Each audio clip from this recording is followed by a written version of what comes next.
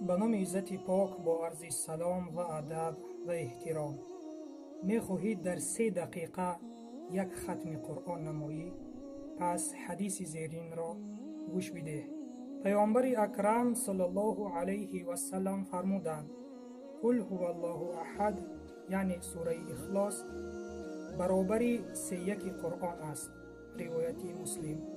Пас бародар ва хоҳари азизам дар як рӯз ту метавонӣ якбор не балки якчанд маротиба савоби хатми қуръонро бигирӣ пас хондани сураи ихлосро фаромӯш накун ва салом бар он шахсоне ки роҳи ҳидоятро пеша гирифтанд